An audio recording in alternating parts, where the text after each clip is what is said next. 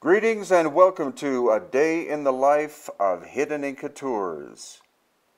We started our day at the Cochahuasi Animal Refuge Center, which is a family run operation in between the Sacred Valley of Peru and Cusco itself. Here they rescue wildlife from Peru that has been injured and they try their very best to make the animals obviously feel better and release them if possible. As a family operation, they do not accept and will not accept money from the government because they don't want the government to control what they do. Among the animals that they have are two very endangered spectacle bears, both babies. They're hoping at some point that these two will have cubs and they also have 11 Andean condors. And here we are at a lookout looking down on the Sacred Valley and more specifically to the little colonial Spanish town of Pisac. Above the colonial town of Pisac, we have Inca Pisac, which is one of the largest um, of the Inca sites in Peru. There are Andene terraces in the form of a condor, amazingly enough, and the condor is facing left towards Machu Picchu. And here, just a very quick view of what the Sacred Valley area of Pisac looks like. Next, we drove up the mountain to the Inca site of Pisac which is one of the larger, as I said, of the Inca sites. The first structures that we see as we approach are those of the military, because Pisac was heavily fortified like Machu Picchu was, and the entry area is very narrow. This was done on purpose. Only two people can walk side by side through the entrance to Pisac, and that would prevent an army from possibly trying to attack Pisac. As we walk further, we see the spectacle, the glory of massive Andene terraces, and up high on the hill, the administration center of Pisac.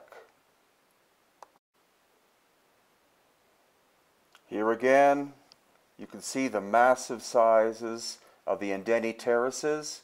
Each one is between 8 and 10 feet tall. And now we start to walk towards the administrative center of ancient Pisac. So again, here we have the fortress, which is the official entrance, and then the agricultural terracing, and there you can see part of a megalithic wall. And above that, the administrative and royal residences.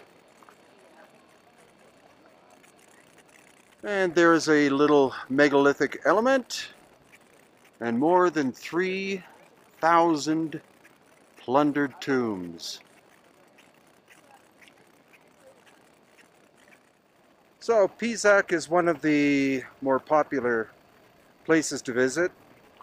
The ones being more popular are Sacsayhuaman, Ollantaytambo, and of course Machu Picchu.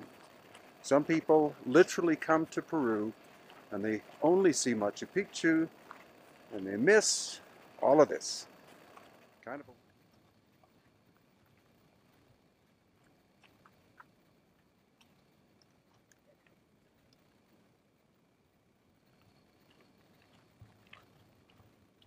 And this is the world famous Pisac Market.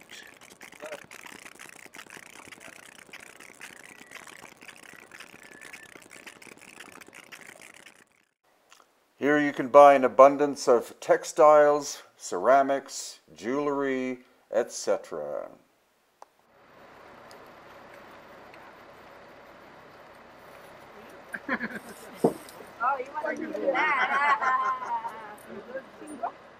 6, 5.50 mamá, si te va a dar de...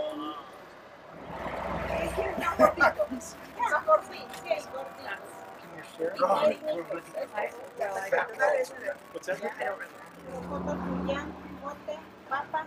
Ya, le vas a dar con su papita nada más. Y un poquito lo que sobra lo otro me vas a dar para allá, para el chofer, para nosotros. Here are some upcoming hidden Inca tours. November with Robert Bauval, only six spaces left. In January, we explore the Maya Olmec and other ancient sites of Mexico. Then Egypt in March of 2018. This tour is already half full. And then the Inti Raymi Inca Festival in June of 2018. Thank you.